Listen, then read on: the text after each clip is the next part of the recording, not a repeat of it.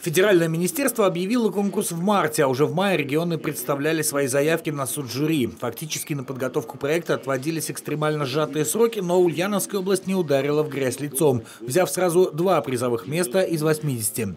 К слову, до финала добрались всего 198 проектов из 455 со всей России.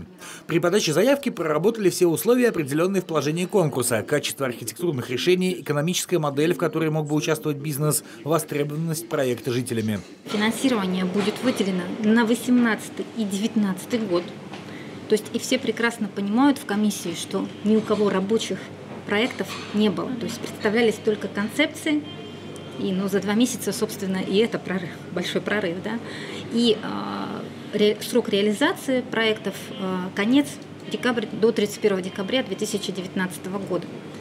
Поэтому сейчас э, самым важной для нас задачей является, конечно, проведение геологических, геодезических работ, сделать топосъемку, проект планировки территории в Сингелее, а, собственно, реализовать рабочую документацию и э, выйти в работы уже с полным рабочим проектом в следующем году. Комиссия выбирала победителей в четырех номинациях, определяемых количеством населения до 10, 20, 50 и 10 тысяч человек.